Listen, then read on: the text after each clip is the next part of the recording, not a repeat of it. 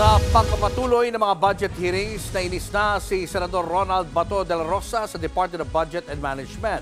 Dahil yan sa sumbong ng Dangerous Drugs Board na kulang ang pondo na ibinigay sa kanila. Nasa frontline ng balitang yan si Mean Los Baños. DBM na mga kuwang kayo, mga binabiolate yung batas. Ha? Mga violator kayo. Yan ang deretsahang tawag ni Senator Bato de la Rosa sa Department of Budget and Management. Kasunod ito ng sumbong ng Dangerous Drugs Board na hindi sapat ang pondo na ibinigay sa kanila noong nakaraang taon.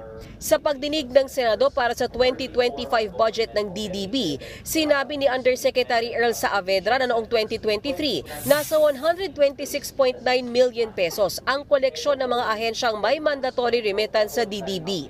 Ginagamit ang pondong ito para sa treatment at rehabilitation facilities ng ahensya. Pero imbis na buong koleksyon, 77 million pesos lang daw ang ibinigay ng DBM.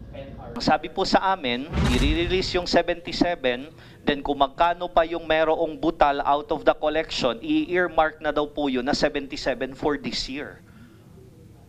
So we were rather surprised, Your Honor, kasi ang sa amin naman po, just imagine yung difference sana. Ang layo po ng marating nun. Noong ipinasa ang 2023 national budget, may provision daw dito na dapat ipagamit sa DDB ang kabuuang koleksyon para sa kanila. Pero hindi raw ito nasunod. Para tayong gago dito, gawa tayo na gawa ng batas, tapos ayaw sundin ng DBM. Otherwise, huwag na tayo mag-budgetary dito. Kayo na lang gumawa ng sarili yung batas doon para kayo mag-implement, kayo gumawa ng batas. Ayaw yung sundin yung ginagawa ng Senado ng Congress na batas. Hindi agad nakapagpaliwanag ang kampo ng DBM na dumalo sa plenary discussion para sa proposed 2025 budget.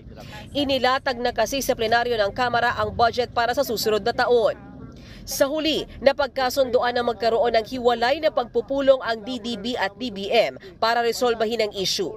Higit 504.28 million pesos ang inallocate na pondo para sa DDB para sa taong 2025. Mas mataas ito sa 417.39 million pesos na budget nila ngayong taon. Samantala, naasita naman ng Philippine Drug Enforcement Agency o PDEA sa pag inspeksyon sa mga pier at tinatawag na custom zone para mabisto ang mga ipinupuslit na illegal na droga. Paliwanag ng PDEA, bagamat nakakaikot sila sa custom zone, ang Bureau of Customs pa rin ang nagsasabi kung anong kargamento ang iinspeksyonin. we are in a custom zone kapag nandun kami. So, siyempre, uh, as a courtesy and uh, as a respect to the authorities, Bureau of Customs under sa DOF.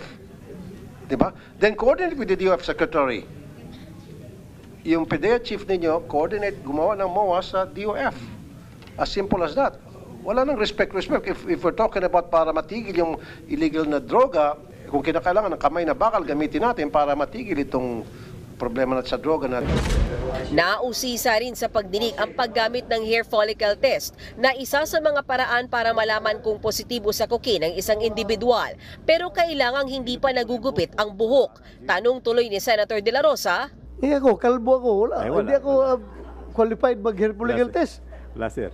Pag sinabing hair, sir, hair lang talaga sa ulo? Yes, sir. Baka pwede yung hair sa Hindi, ilong, pwede rin. hair sa Oo, pwede. Pwede, uh, sir, genitals. Lahat. Yes, pwede lahat. Pwede. Okay, pa- paano kung sinave nyo, sir? Kasi once na pinutol mo yung buhok mo, wala nang, wala nang ano, sir, doon, traces doon. Paliwanag pa ng PIDEA, epektibo pa rin ang hair follicle test hanggang siyam na pung araw mula nang gumamit ang isang drug suspect.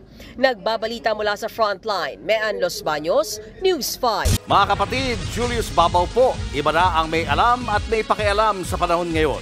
Para sa mga frontline ng mga balita, mag-follow at mag-subscribe sa social media pages ng News 5.